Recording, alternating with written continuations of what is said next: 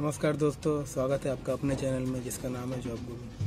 तो आज हम लेके आए हैं इंजेक्शन पैकर्स के बारे में बताएँगे आज। इंजेक्शन पैकर्स होता क्या है, कैसे होता है, इसका यूज़ कैसे करते हैं। तो हम दिखाना चाहेंगे आपको।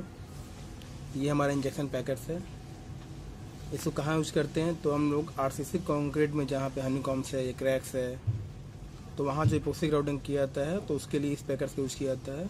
इसको इंजेक्शन पैकर्स है इंजेक्शन बोल सकते हैं। तो इसका कंस्ट्रक्शन आप देख सकते हैं। ये two two hundred M length का है आपका। ये आगे में आपका वाल्व लगा है एनआरवी वाल्व लगा हुआ है, जिसमें मटेरियल अंदर तो जाएगा, लेकिन बाहर नहीं आएगा। ये बॉल वाल्व यहाँ लगा हुआ है, ये दिखा सकते हैं आपको। देख सकते हैं। तो अब इसे फिक्स कैसे करना है? देख सकते हैं।